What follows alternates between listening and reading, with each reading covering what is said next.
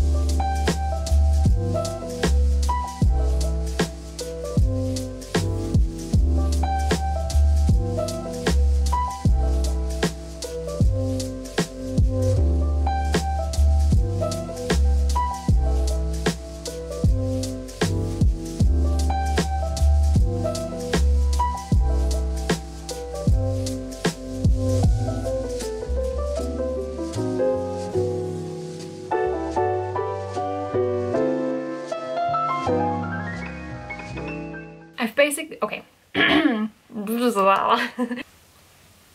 Whenever I've had to wear a mask recently, it's been a disposable mask. I've wanted to make a reusable cloth mask for a while. I have considered buying some, but the thing is I would like to be able to try the mask on and see what the fit is like before I purchase it.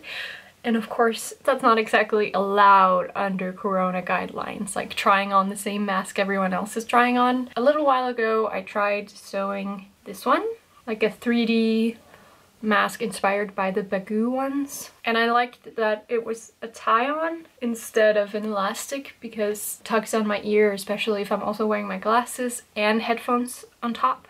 Everything's just squeezed underneath there. that was the big appeal. I thought it looked cool and um, it's a pretty simple pattern and I like the tie aspect of it, but the fit of this is just not very good for me. It felt very suffocating. It was like squeezing my face and I, I went back to disposable masks after trying this. But now I had some time to sit down with the pattern and I tried the duck bill mask which was quite easy to do. I will link the video that I followed. I don't feel it slipping anywhere. It's sitting nice and snug over all of the edges. It has a dart down here. Breathing in, it's like... but overall, I'm quite satisfied with it. That was today's sewing project.